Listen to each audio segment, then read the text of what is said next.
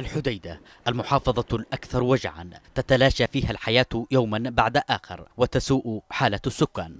أرقام مخيفة سجلت عن حالات سوء التغذية العام في المحافظة التي وصلت إلى أكثر من 31% نهاية العام 2014 لكن هذه الأرقام تفاقمت وارتفعت بعد سيطرة الميليشيا على الحديدة وتحويلها إلى مجال عام للنهب. أما قوت المواطن فقد جعلته الميليشيا بالمزاد لمن يدفع أكثر. على هذه الشاكلة تبدو هيئة أطفال المحافظة بعد أن تفاقمت حالات سوء التغذية وتحولت إلى ظاهرة عامة في معظم مديرياتها الستة والعشرين. لكن الوضع أكثر سوءا في مديرية التحيتة فالناس هنا جلهم من المعدمين والمعسرين لذا تراهم يخوضون صراعا مريرا من أجل الحصول على هامش بسيط للبقاء.